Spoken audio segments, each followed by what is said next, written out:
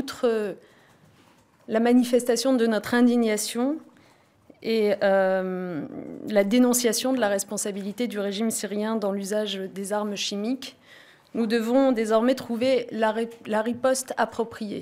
Le président de la République a pris la décision de convoquer le Parlement ce mercredi pour apprécier la situation en Syrie.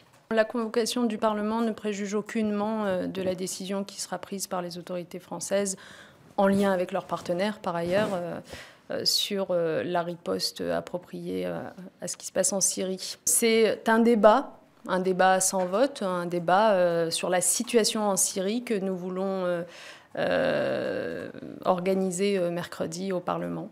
Mais on, ne se situe pas, pour répondre à votre question, dans le cadre de l'article 35 de la Constitution qui impose en effet au gouvernement de réunir le Parlement une fois une décision d'intervention prise. Ça n'est pas dans ce cadre-là. C'est dans la volonté simplement d'écouter le Parlement sur la situation.